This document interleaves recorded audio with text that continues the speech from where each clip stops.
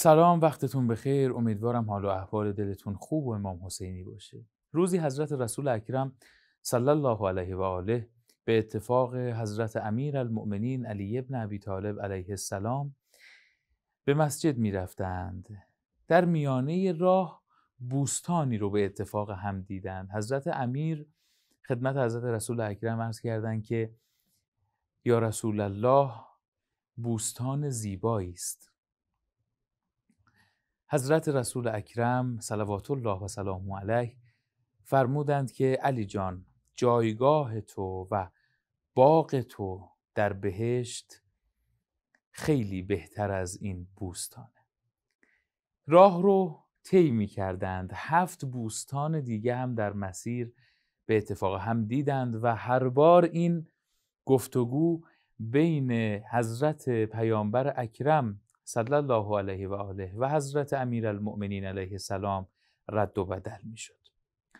یکم که پیش رفتند حضرت رسول اکرم امیر المؤمنین علیه السلام رو در آغوش گرفتند و زار زار گریه کردند و حضرت امیر هم به اتفاق حضرت رسول شروع کردند به گریه کردند. حضرت امیر علت گریه حضرت رسول رو از ایشون جویا شدند. حضرت رسول فرمودند که یاد کینه های افتادم که در دلهای این مردم از تو جای گرفته و بعد از من این کینه ها بر تو آشکار میشه. حضرت امیر المؤمنین از پیامبر اکرم پرسیدند که تکلیف چیست؟ حضرت رسول فرمودند صبر و شکیبایی که اگر صبر نکنی مشقت ها بیشتر میشن. اوقاتتون خوش. باز هنگام نماز آمده است. موقع راز و نیاز آمده است. گوش کن. میشنوی بانگ ازان ولی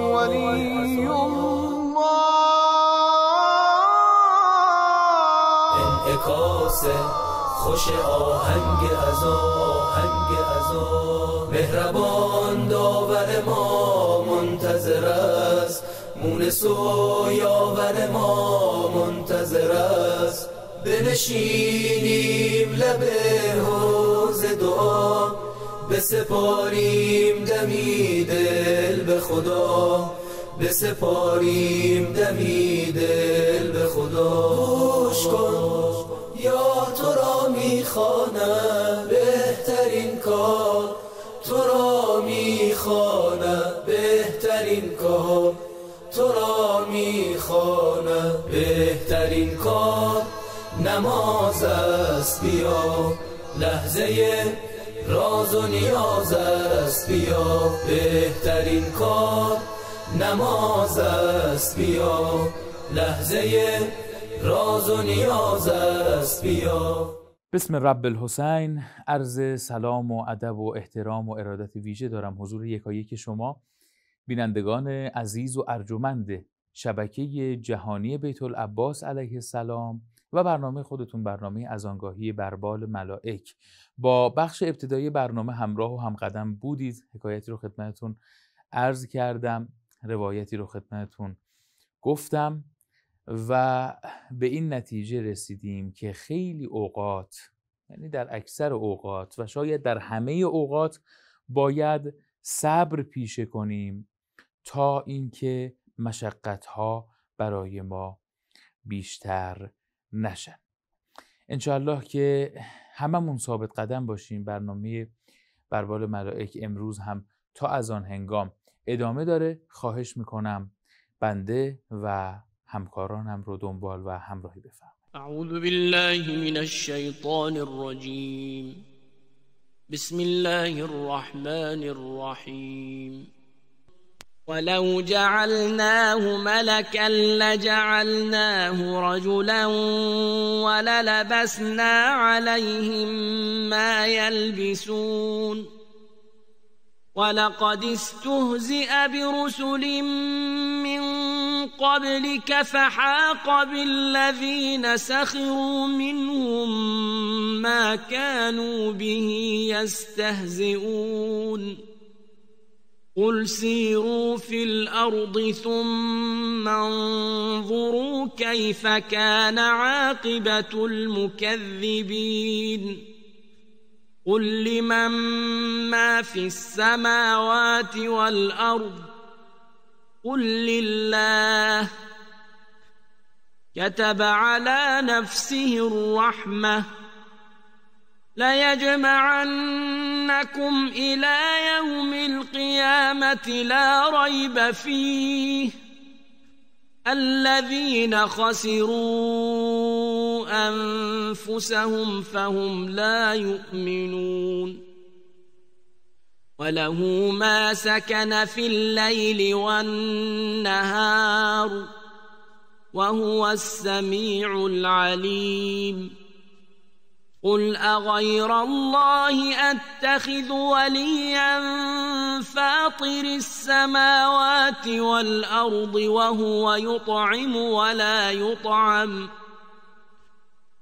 قل اني امرت ان اكون اول من اسلم ولا تكونن من المشركين قل إني أخاف إن عصيت ربي عذاب يوم عظيم من يصرف عنه يومئذ فقد رحمه وذلك الفوز المبين. وإن يمسسك الله بضر فلا كاشف له إلا هو. وإن يمسسك بخير فهو على كل شيء قدير وهو القاهر فوق عباده وهو الحكيم الخبير صدق الله العلی العظیم خیلی ممنون و متشکرم از اینکه همچنان بیننده برنامه خودتون هستید. به رسم هر روز آیاتی تلاوت شد و به اتفاق هم شنیدیم و لذت بردیم. می‌خوام ترجمه این آیات رو تقدیم حضورتون بکنم که انشاءالله استفاده کنیم و ثابت قدم باشیم. خداوند متعال میفرمایند که و اگر فرستاده خیش را فرشته ای می کردیم حتما وی را به صورت مردی قرار می دادیم و قهرن امر را همچنان بر آنها مشتبه می ساختیم باز می گفتند این هم بشری است. و پیش از تو پیامبرانی به استهزا گرفته شدند. پس کیفر این استهزا گریبان ریشخند کنندگان را گرفت. بگو در زمین سیر کنید. سپس بنگرید که سرانجام تکذیب کنندگان چگونه بوده است. بگو آنچه در آسمان ها و زمین است برای کیست؟ بگو از آن خداست. او رحمت را بر خود مقرر داشته و مسلما شما را در روز قیامت که شکی در آن نیست گرد می آورد کسانی که خیشتن را در زیان افکندند ایمان نمی آورند و آنچه در شب و روز قرار گرفته از آن اوست و او شنوای داناست. بگو آیا غیر خدا را که آفریدگار آسمان ها و زمین است سرپرست خود گیرم در حالی که اوست که میخوراند و خورانده نمی شود بگو دستور یافتم نخستین کسی باشم که تسلیم شده و گفته است که هرگز از مشرکان مباش. بگو من اگر پروردگارم را نافرمانی کنم از عذاب روزی بزرگ بیم دارم. هر کس در آن روز عذاب از وی برگردانده شود حقا خدا به او رحم کرده است. و این کامیابی آشکار است. و اگر خداوند به تو گزندی رساند کسی جز او برطرف کننده آن نیست. و اگر خیری به تو رساند او بر هر کاری تواناست. و او بر بندگان خیش قاهر و چیره است و اوست حکیم آگاه. انشاءالله که ثابت قدم باشیم. در محضر آیات قرآن بودیم. خدا رو شکر می‌کنیم هر قسمت بابت این انسی که ایجاد شده بین ما و بین آیات قرآن کریم. اما باز هم توصیه می‌کنم انسمون رو روز به روز با قرآن کریم باید بیشتر کنیم. برنامه بربال ملائک کماکان ادامه داره. خواهش می‌کنم همچنان با ما همراه خب بینندگان عزیز خیلی ممنونم که همچنان چشم دوختید به این قاب جهانی و دارید برنامه خودتون رو تماشا می‌کنید. در این بخش از برنامه امروز تصمیم گرفتم که خیلی صمیمی و خیلی خودمونی خدمتتون یک سری نکات رو عرض بکنم. متاسفانه گاهی اوقات دشمنان اسلام و تشیع سعی می‌کنن که یک سری شبهات وارد بکنن به دین و مذهب ما. یقینا که کور خواندن و امکانش نیست.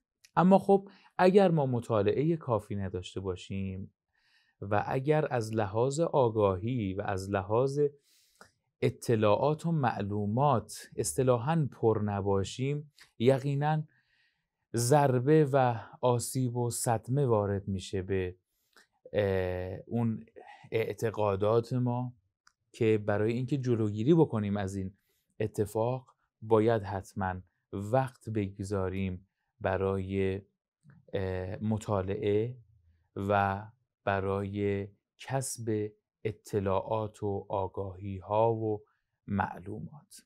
به عنوان مثال شبهی که اخیرا من دیدم که دشمنان اسلام این رو منتشر کردن و دست به دست میشه به خاطر اینکه اسلام رو کم رنگ بکنن که ارز کردم کور خوندن این قضیه هست که چرا اگر مثلا امام حسین علیه السلام می‌دانست که شهید میشه و اون اتفاقا بعد از شهادت ایشون رخ میده چرا به کربلا رفت؟ چرا این تصمیم رو گرفت؟ بینندگان عزیز یقینا همه ائمه از اتفاقاتی که قرار بوده براشون بیفته از چگونگی شهادتشون و اتفاقات آیندهشون مطلع بودن. اما اینکه ما چطور برداشت می‌کنیم قضیهش فرق می‌کنه. ما شاید تنها یک خونریزی ببینیم یک جنگ ببینیم اما بینندگان عزیز توجه داشته باشید که هدف ائمه هدایت کردن مردم بوده.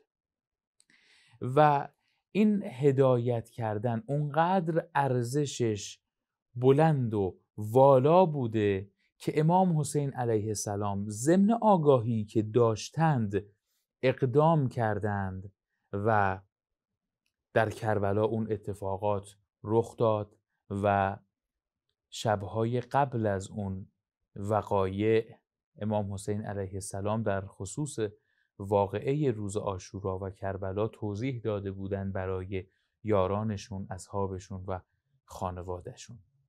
پس این نبوده که نعوذ بالله ناآگاهانه و بدون اطلاع این اتفاقات رخ داده باشه و الان دشمنان اسلام بخوان شبهه وارد کنند کما اینکه در ابتدای برنامه هم اشاره کردیم.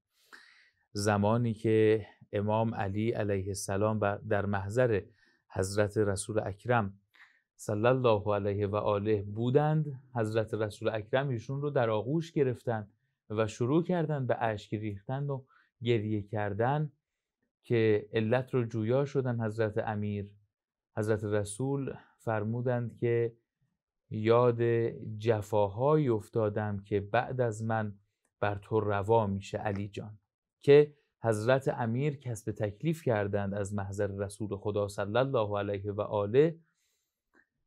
حضرت رسول فرمودند که صبر و شکیبایی باید کرد. علی جان که اگر صبر صورت نگیره مشقت ها بیشتر میشه. بله این خودش یک نمونه بود برای اینکه بیان کنیم. یک دلیلی بود برای اینکه بیان کنیم که ائمه حضرت رسول اکرم و معصومین اطلاع داشتن که چه اتفاقی میفته اما هدایت ارزشش خیلی زیاده. اونقدر ارزش داره که امام به رنج میفته رسول اکرم به رنج میفته برای اینکه چند نفری هدایت بشن.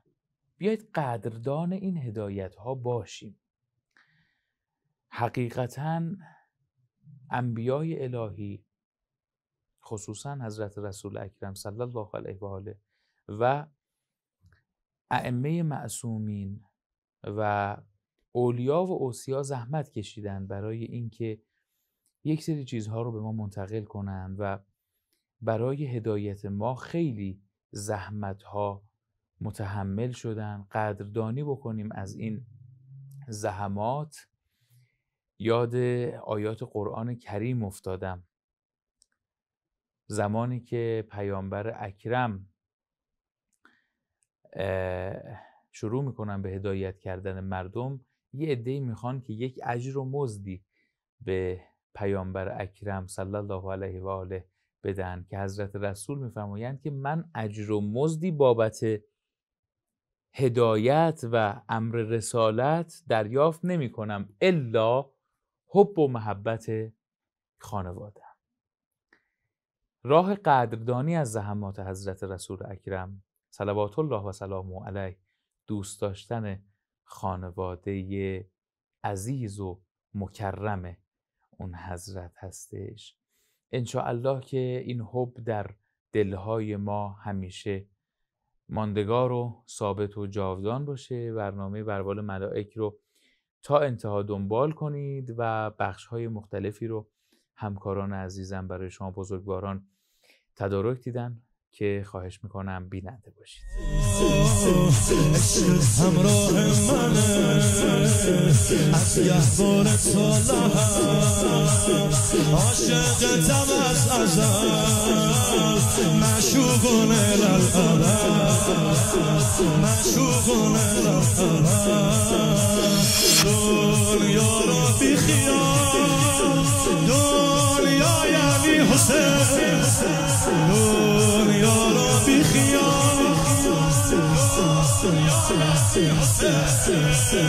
نوکر یعنی همه آقا یعنی حسین نوکر یعنی همه آقا یعنی حسین. لطف دائمی بگذری چشمم به دست بنی بشری رفتم دورام و زدم ولی دیدم جایی غیر کربلا خبری آقا نگاه هم مانده بر در تا بیا از جاده های روشن فردا بیایی. دوری تو بغزی نشانده در گلویم. ای کاش می‌شد یا بمیرم یا بیای. دارد توسل می کند چشمان خیسم. ای حاجت روز و شب دنیا بیایی. پیچیده شد کار تمام شیعیانت. باید برای رفع مشکلها بیایی. دیشب دعا کردم برای دیدن تو.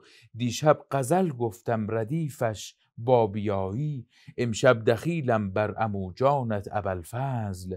شاید میان روزه سقا بیایی در انتظار تو تمام لحظه ها را آقا نگاه هم مانده بر در تا بیایی.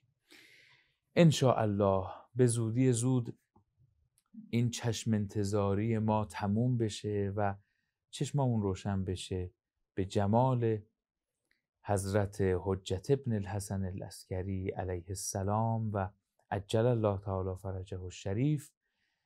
و خواهش می‌کنم هر جا که هستید و به هر طریقی برنامه خودتون رو دارید نگاه می‌کنید امروز هم به رسم هر قسمت از برنامه بربال ملائک دستان خودمون رو به سمت آسمان و به سمت خداوند برای طلب تعجیل در فرج دراز بکنیم و دعا بکنیم چرا که یقینا دعا اثر دارد. همه با هم الله برنامه خودتون از قاب شبکه جهانی بیت العباس علیه السلام هستید. این همراهی شما این دنبال کردن های شما یقینا باعث افتخار و قوت قلب بنده و همکارانم هست. اما امروز یک شنبه هست و همونطور که مستحضر هستید یک شنبه ها در محضر جناب حجت الاسلام وافی هستیم و استفاده می‌کنیم از بیانات و مطالب ارزشمندشون و بهره می‌بریم. امروز هم به همین شکل میزبان جناب حجت الاسلام وافی هستیم و انشالله استفاده می‌کنیم از محضرشون. حاج آقا سلام علیکم. علیکم السلام و رحمت الله. منم خدمت شما و همین بینندگان گرامی. عرض سلام و تسلیت ایام دارم. چیزی تا اربعینم باقی نمونده. هر کس می‌تونه به این سفر معنوی مشرف بشه. انشاءالله. بالاخره گذرنامه تهیه کنه و بره بچه ها هم به خودتون ببرید. چون که اگه نبرید به خاطر بهانه سختی را اونجا که میرید توی مسیر می‌بینید چقدر بچه ها اومدن حسرت می‌خورید. حتی کسایی که بالاخره قدرت راه رفتن دارن. ولو سن ازشون گذشته اونم که میریم اونجا می‌بینیم خیلی از افراد با عصا حتی با واکر مثلا بله. میان و این مسیر رو طی می‌کنن. اینم عرض کنم بعضیا میگن که برای سفر اولیا اربعین مناسب نیست. چون توفیق زیارت از نزدیک پیدا نمی‌کنن شلوغ عیبی نداره. سفر اربعین هدفش زیارت از نزدیک نیست. هدف اینه که مراسم هرچه با شکوهتر انشالله میلیونی از ایران برن و به اون دریای میلیونی زائران بپیوندن. یک نمایش قدرت و عظمت شیعه است برای کل جهان. حتما هر کسی می‌تونه اگر کارمند مرخصی بگیره اگر مغازه داره از این چند روز بزنه و در اربعین در اون جمع و جمع و اقیانوس زائران ابا عبدالله به عنوان قطره ای حضور داشته باشه. انشاءالله. قسمت که همه ما توفیق داشته باشیم. خب ما درباره معاملات باطل صحبت می‌کردیم. گفتیم معاملات اعیان نجسه مال غصبی چیزایی که منافع غالبیش حرامه. یکی از چیزهایی که معاملش باطله معامله که در آن ربا باشد. اینو ما یه توضیح بدیم در این جلسه. مهم هم از کمتر گفته میشه. معمولا تا ما واژه ربا رو میشنویم ذهنمون به قرض و وام میره. در حالی که ما دو جور ربا داریم. ربای قرضی ربای معاملی. خب ربای قرضی رو انشاءالله در آینده حیات و توفیقی بود در بحث قرض عرض می‌کنیم. اما ربای معاملی که کمتر مردم می‌دونن. بخوام یه واژه به کار ببرم که تو ذهنشون بمونه. معامله دو همجنس نابرابر. یعنی اگر ما می‌خوایم دو تا کالا رو با هم معامله کنیم الان در زمان ما غالبا پول نقد به عنوان سمن قرار می‌گیره. و اگه پول نقد سمن بود اصلا بحث معامله ربوی پیش نمیاد. شما هر چیزی رو می‌خری در مقابلش می‌دید؟ پول رایج مملکت رو می‌دید. اما اگه معامله کالا به کالا شد که گاهی هم در زمان ما پیش میده که مثالش می‌زنم اگه دو کالا با هم همجنس باشن بله. و مکیل یا موزون یعنی وزن کردنی یا پیمانه کردنی. ببینید لیتر پیمانه است. بله. حجم رو میسنجه. اما این کیلوهایی که مثلا میگن وزنیه. جنس وزنی یا پیمانه ای باشه. وزنی و حجمی و هم جنس باشه. اگه بخوای شما این دو جنس رو با هم دیگه مبادله کنی یکی سمن باشه یکی مسمن نباید کم و زیاد باشه باید کاملا وزنشون. یا حجمشون با هم چی باشه؟ مساوی باشه. ممکنه بگید خب یعنی چی کم و زیاد باشه و اینا؟ ببینید اول مسئله 2072 رو بخونم از رو متنش. حدودا مسئله 2072 رساله ها. اگر مقداری از جنسی که با وزن یا پیمانه می فروشند ببینید مقابل وزن و پیمانه ما اندازه گیری های دیگر هم داریم. مثلا متر. پارچه رو با متر می فروشن زمین چیه؟ متریه. پس در معامله زمین معامله پارچه ربای معاملی نمیاد. یا مثلا بعضی عددیه. فرض کن خودکار با عدد آقا دو تا خودکار بده. صدا نمیگن مثلا یک کیلو خودکار. این معامله ربوی برش پیش نمیاد. یا مثلا بعضی جاها مناطق از تخم مرغ یا گردو عددی کیلویی نیست. خواهیم گفت توضیح میدم که در اونجا هم معامله ربوی پیش نمیاد. حالا همین وزنی و پیمانی رو بگم. چند مثال ساده بزنم. شما برنج کیلویی فروخته میشه دیگه. برنج کیلویی موزونه. شما بعد وقتی برنج رو می‌خواید با برنج معامله کنید باید هم وزن باشن. ولو یکی مرغوبه یکی نامرغوبه یکی جنس خوبه یکی جنس پستره یکی ایرانی یکی خارجی. یعنی من نمی‌تونم بگم من ده کیلو برنج ایرانی رو میفروشم در مقابل 20 کیلو برنج خارجی. یا حتی قند و شکر مثلا یک جنس محسوب میشن. بگم من حالا من نمی‌دونم قیمت قند بالاتر یا شکر. به نظر شما؟ به نظر قند بالاتر باشه چون یه کاری روش انجام میشه. فرض می‌کنیم من 5 کیلو قند رو به شما میفروشم در مقابل 7 کیلو 8 کیلو چی؟ شکر. این باطله. با اینکه کار متعارفی ممکنه باشه ها. یعنی قیمت اون 10 کیلو برنج خارجی با 5 کیلو برنج ایرانی متعادل باشه.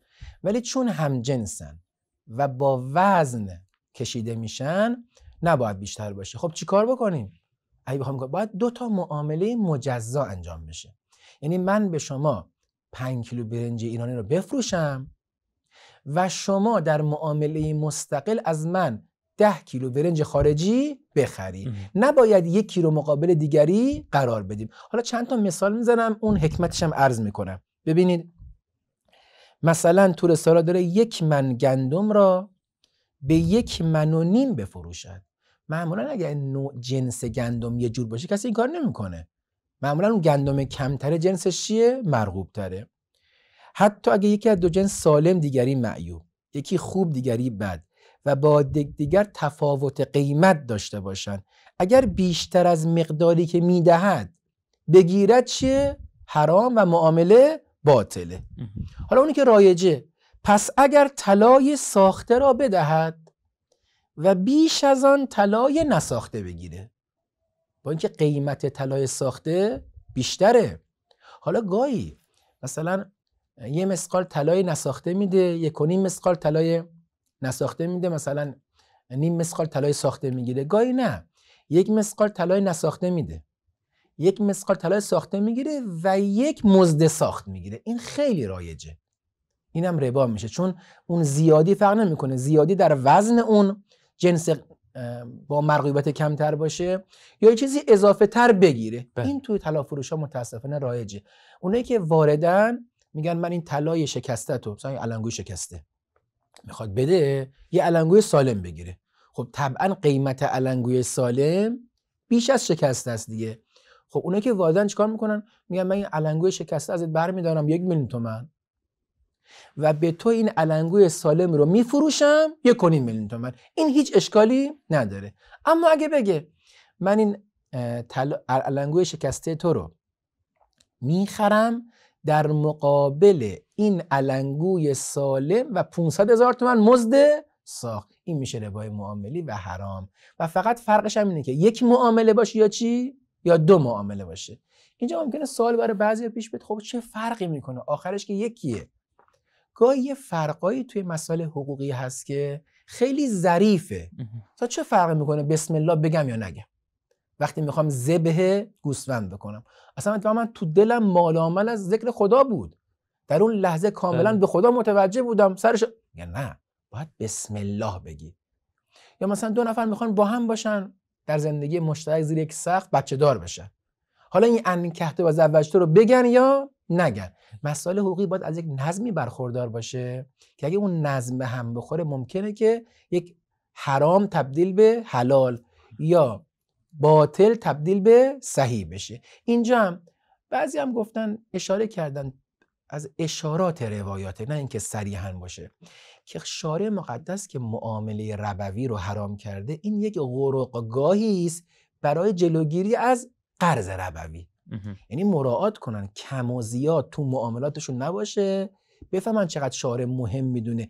این یک حریمی است که دوچار چی بشن؟ دوچار قرض ربوی نشن. حالا چه این حکمت باشه چه نباشه از نظر شرعی بین فقها هیچ اختلافی هم نیست. بله. که دو جنسه. دو کالای همجنس نباید نابرابر وزنی یا پیمانی. البته در عددی آزادی ما.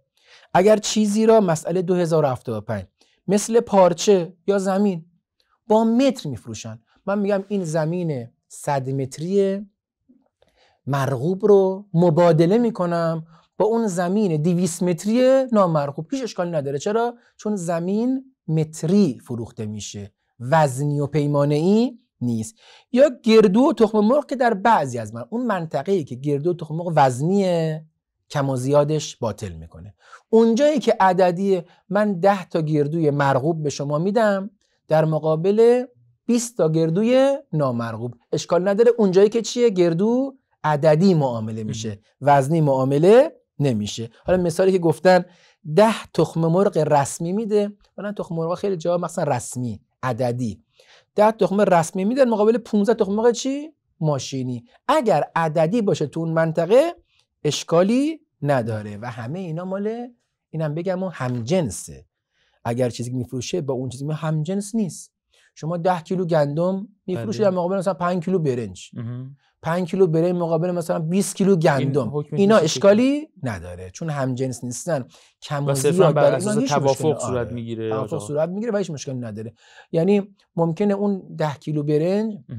قیمت 100 کیلو گندم رو داشته باشه. بله. حالا من می‌تونم 10 کیلو مقابل 100 کیلو 50 کیلو یا 150 کیلو هیچ محدودیتی در دو جنس ناهمجنس نیست. البته گندم و جو تو روایت یک جنس محسوب شدن. یا مثلا شیر و پنیر هر چیزی از اصل واحده. عرفا شیر با پنیر خب دو کالاست. بله. اما اگه شیر و پنیر مثلا هر دو از گوسفند باشه. اینا یک جنس محسوب میشه. با اینکه قیمت پنیر بیشتره نمی‌تونن نابرابر مگه اینکه در ضمن دوتا معامله باشه؟ البته مثلا گفتن شیر گاو میشه با شیر گوسفند به کما شیر گاو گوسفند هر دو شیر ها. اما شیر گاو با شیر گوسفند دو جنس حساب کردن. این دیگه تو رساله اومده. بعضی که ما خیال می‌کنیم هم جنسن تو روایات دو جنسه. پس اشکال نداره. بعضی که دو جنسن گندم و جو خب دو چیزن دیگه. بله. تو روایات بوده اینها ما از نظر شرعی یک جنس محسوب میشن و در مبادله نباید نابرابر باشن. مگه اینکه در ضمن دو معامله باشن. من فقط خواستم بینندگان رو با این مفهوم ربای معاملی آشنا کنم. جزئیات خودشون مراجعه می‌کنن در رساله ها و استفتاعات با مثال های متعدد و متنوع. هر جا هم شک کردید سوال کنید. من می‌خوام معامله رو انجام بدم. کالا به کالاست. عرض کردم اگه معامله نقد با اسکناس و پول مشکل نداره. اگه جایی کالا به کالا شد شک کردید سوال کنید که اینا یک جنسن.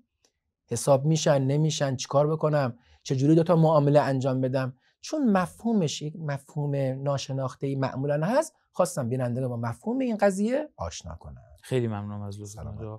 یک بخش رو به اتفاق هم ببینیم. برمیگردیم مجددا در خدمت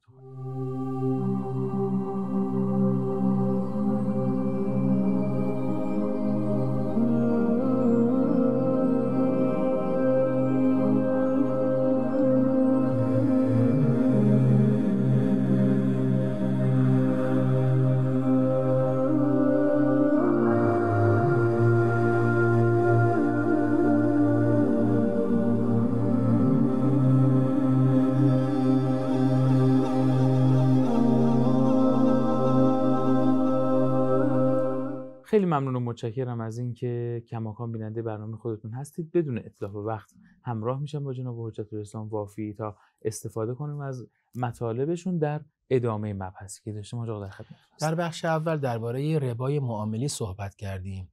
شرایطش رو چند تا مثالم زدیم. ما یه ربای قرضی هم داریم.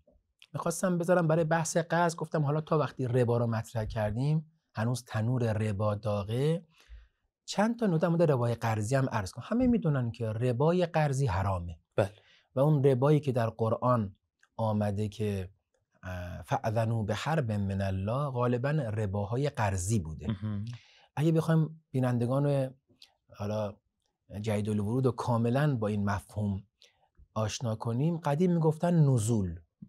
الانم تو بازار رایجه. میگن فلانی نزول خوره. بله. همون ربای قرضیه. اگر چیزی حرام باشه با تغییر اسم صرفا حلال نمیشه. حالا شما بگو نزول بگو سود بگو بهره. البته اگه قرض باشه ببینید هر سودی که حرام نیست. اصلا طرف تجارت می‌کنه برای چی؟ به دست آوردن سود. قرار نیست که هر سودی حرام باشه. سود معامله حلاله. سودی که از طرف از قبل اجاره کسی می‌بره خب خونهشو داره اجاره میده. یه سودی می‌بره. اینم حلاله. سودی که از مزاربه که بعدا توضیح میدیم که مزاربه هم خیلی شبیه رباس یه فرقهای جزئی داره اونم حلاله. اما کسی به کسی قرض بده. قرض مفهومیه که زیاد نیاز به توضیح نداره. حالا شما بگو قرض بگو وام. یه کسی به پولی نیاز داره یا من این پول از شما می‌خوام قرض بگیرم. مثلا یه ماهه یک ساله معمولا قرض مدت داره. وقتی می‌خواد برگردونه اگر در ضمن عقد قرض شرط اضافه بشه. اونی که حرامه اینه ها من به شما من یک میلیون تومن قرض می‌خوای. میگم من به تو یک میلیون تومن قرض میدم. یک ماهه به شرط آن که وقت پس دادن به من یک میلیون و صد هزار تومن پس بدی. این حرامه. شرط بکنه هم ربا گرفتن حرامه و هم ربا دادن. اما اگه شرط نکنه. شما میای از من میگی من یه نیاز دارم یه ماهه بهت پس میدم. میگم بیا. خدمت شما خیلی کار خوبی قرض دادن. ثواب عظیمی تو روایت براش اومده. چون راه انداختن کار مؤمن دیگه گرهی بخواد طرف بخواد قرض بگیره طرفی که صدقه می‌گیره ممکنه دروغ داره میگه. اما طرف یه قرض می‌گیره چون می‌خواد پس بده البته اون آدابش هم رعایت بشه خیلی خوبه که نوشته بشه. توی آیه دین داره. نوشته بشه. حالا ممکنه شما به این شخص اعتماد داری و مطمئنی طرف چیکار می‌کنه؟ وفادار پس میده. اما ممکنه افتادی و از دنیا رفتی. طرف بتونن ورسه اثبات کنن که این اون طرف مدرکی نوشته بشه یا دوتا شاهد گرفته بشه یا وسیقه ای از طرف بگیریم. آقا شما قرض می‌خوای یه میلیون ده میلیون کمتر بیشتر به همین مقدار طلا من وسیقه بگذار. هر وقت پس دادی طلا به شما پس میدم. که اگر شما پس ندادی من مجاز باشم از این وسیقه چکار کنم؟ اون قرض خودم رو برداشت کنم. اما همین مال جاییه که شما شرط بکنی. هین قرض دادن من به تو قرض میدم به شرطی که این مقدار اضافه تر به من پس بدی. اضافه حتما مادی لازم که باشه گاهی اضافه معنویه. حالا این مثال ساده بزنم. میگم من به شما یک میلیون تومن قرض میدم یک ماهه. به شرط اینکه برای بابای من یه سوره یاسین بخونی. این هم میشه ربا. چرا؟ چون داره اون اضافه تر متحمل میشه. اون به شما یک میلیون تومن پس میده و یک سوره یاسین هم باید بخونه. میگن این شرط زیاده معنوی. ولی معمولا خب مادیه. این مقدار اضافه تر پس بده. اما اگه در ضمن عقد شرطی نشد. یعنی من بدون اینکه شرطی بکنم به اضافه پس دادن یه میلیون بگه خود طرف قرض گیرنده نه تنها جایزه بلکه مستحبه. از باب تقدیر و تشکر و هل جزاء الاحسان الا الاحسان اضافه تر پس بده. یعنی یکم چربتر پس بده. یعنی یه میلیون گرفته حالا می‌خواد پس بده. یک میلیون مثلا فرض کن ده هزار تومن پنجاه هزار تومن صد هزار تومن هر چیزی که براش سخت نیست یک تقدیر و تشکری بشه از کار این. این حرام نیستا این حرام نیست بر قرض گیرنده مستحبه و بر قرض دهندم قبول این اضافه اشکالی نداره. این مهمه. نکته دوم بعضی از استثناءاته ای کاش کتابایی نوشته بشه بوده استثناءات که الان توی عرف حقوقی میگن تبصره. معمولا قوانین تبصره هم داره. گاهی طرف چون از تبصره غافله از منافع حلال اون تبصره محروم میمونه. یکی از تبصره که تو ربا وجود داره اینه که ربا بین سه نفر حلاله. یکی مسلمان از کافر ربا بگیره. به کافر نباید ربا بده ولی از کافری که در پناه اسلام نیست. نه کفار زمی که در پناه اسلام و در حکومت اسلام زندگی می‌کنن نه. کافری در پناه اسلام نیست مسلمان می‌تونه ربا بگیره. یعنی قرض داده میگه به شرطی به قرض میدم که اینقدر اضافه تر پس بدی اونم قبول می‌کنه ها. مثلا مستاقش که برای ماها پیش نمیاد شما در بانک خارجی که سهامدارانش کافر هستن شما سپرده گذاری می‌کنی. نه به عنوان مزاربه به عنوان وام و قرض و ماهانه سالانه به شما چیکار می‌کنن؟ سودی میدن. اون سود چون از جانب کافر به مسلمان می‌رسه چیه؟ حلاله. حالا اینو کاری نداریم چون زیاد مبتلا به ما نیست. دو مورد دیگه جالبه. بین زن و شوهر ربا نیست. یعنی زن و شوهر می‌تونن به هم دیگه قرض بدن و در ضمن عقد قرض شرط چی کنن؟ شرط اضافه کنن. اون اضافه ای که حالا یا شوهر قرض می‌گیره یا زن به طرف مقابل میده حلاله. و سومین مورد بین پدر و فرزند. حالا او فرزند چه دختر باشه چه پسر. بین پدر و فرزند اگر قرضی رد و بدل بشه اضافه تر گرفتن خب معمولا اضافه های مجهفانه که نه. میگه آقا من می‌خوام یه میلیون خب میمونه شما یک سال ما اگر می‌خواد اگر اشکالی نداره باید این مقدار بیشتر پس بده و اونم چیکار کنه؟ قبول کنه. اینها اشکالی نداره. علاوه بر اینکه قرض گیرنده مستحبه به هر قرضنده اضافه بده در این سه مورد حتی اگه شرطم بکنن مجازه. البته تا ما بحث قرض و ربا رو مطرح می‌کنیم اولین سوالی که به ذهن بینندگان میاد چیه؟ بانک ها هستن. که بالاخره این بانک هایی که ما پول می‌ذاریم اونجا به ما سودی میدن. بله. یا وامی می‌گیریم و از ما سودی می‌گیرن. گاهی به نام سود این یعنی رسما میگن سود و بهره گاهی هم به نام چی؟ کارمزد. خب اینو باید جلسه مستقل نباید صحبت بکنیم. به عنوان احکام بانک ها و نمیشه گفت همه انواع معاملاتی با بانک ها انجام میشه چیه؟ حلال یا حرامه. چون که خیلی مبتلا به هست قولو به ما بدین که بله، حالا یک بله. جلسه در این خصوص اگه تحت عنوانی از عناوین عقود شرعیه در بیاد حلاله. حالا چه بانک باشه چه شخص بانکم چه دولتی چه خصوصی. البته تو بانک دولتی خواهیم گفت که فقها بعضی فقهای نظر خاصی بله. دارن.